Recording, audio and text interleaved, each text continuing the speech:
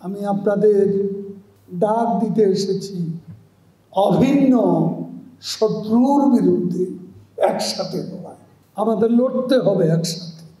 এর কোনো বিকল্প নেই।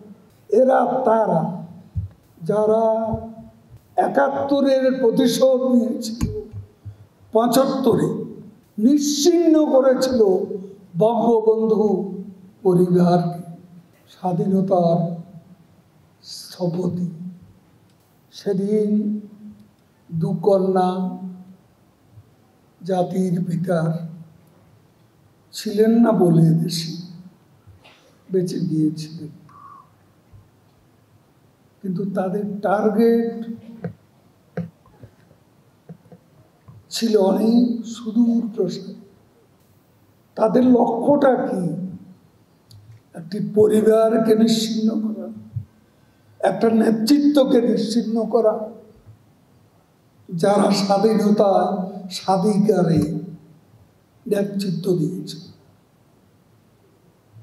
তাদের টার্গেট ছিল আদর্শ। মুক্তিযুদ্ধের মূল্যবোধ, স্বাধীনতার আদর্শ। তাদের টার্গেট ছিল জয় বাংলা। সঙ্গে সঙ্গে নিষিদ্ধ। পনেরোই আগস্ট হলো জয় বাংলা নিষিদ্ধ। যে ভাষণ উজ্জীবিত করেছিল পরাধীন একটা জাতিকে, স্বাধীনতার মন্ত্রী, সে ভাষণ নিষিদ্ধ হয়ে গেল।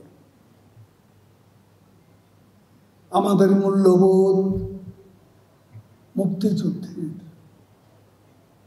নিষিদ্ধ হয়ে গেল। আমরা বিজয় দিবস দেখলাম। বিজয়ের নায়ক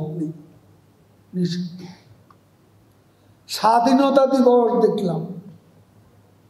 শেক্সপিয়ারের হ্যামলেট মঞ্চস্থ হচ্ছে। ডেনমার্কের প্রিন্স। নাটকের তিনি অনুপস্থিত। বিজয় দিবসে স্বাধীনতা দিবসে। এভাবে একুশে আগস্ট পার হয়ে আজকে আমাদের সামনে একটা নির্বাচন, আমাদের জাতীয় নির্বাচন। এ জাতীয় নির্বাচনও আমাদের আমি আপনাদের ডাক দিতে এসেছি অভিন্ন শত্রুর বিরুদ্ধে একসাথে লড়াই।